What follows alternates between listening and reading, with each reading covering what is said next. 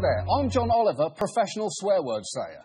Now, on my show last week tonight, I tried to provide the fairest, most accurate commentary possible, whether I'm covering the state of America's deeply flawed prison system or the state of Kansas's sex toy auction. But look, sometimes I do go too far, and in the grand tradition of television personalities who've made mistakes, I would like to offer a condescending, half hearted apology that I don't really mean. now, you may remember a while ago I started a social media campaign to tackle what I thought, at the time, was a pressing issue. I'm speaking, of course, of my hashtag not my Christian movement. Now, it, it, it, was, it was designed to. No, no, no. It was designed to protest the casting of Jamie Dornan as Christian Grey in the upcoming Fifty Shades of Grey movie. Now, look, I'm sorry if anyone was offended by my incredibly accurate evaluation of the casting choice for a movie whose target audience, going by the trailer, seems to be suburban mothers of three who have somehow never had sex before.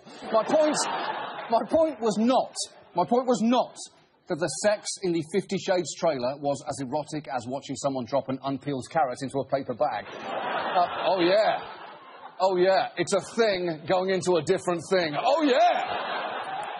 That was not my point.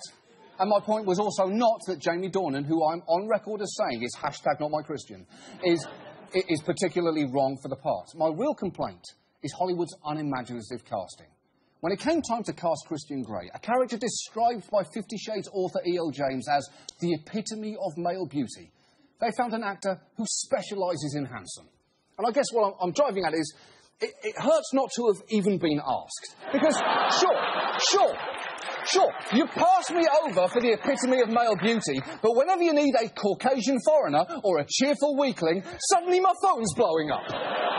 And that is why, right now, on YouTube, in front of all the world's teenagers and their fun aunts, I am going to record my audition for the Fifty Shades of Grey. Yes? I'm going to record my audition for it. I'm recording my audition for a movie that's already been made based on a book I have never read. So here goes. Here goes. Let's do this.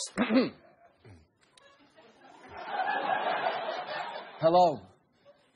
I'm Christian Grey, epitome of male beauty. According to Wikipedia, I'm ready to take a young woman on a journey from frumpy nerd to fully realised sexual being. This is a thing that I, Christian Grey, feel totally comfortable talking about and doing. Maybe I'll tell her to let her hair down and stop wearing paint stained overalls all the time, or, or maybe that's just the plot of 1990s teen comedy She's All That. Either way, it doesn't matter. Either way, either way, I'm presuming this is all going to end in butt stuff.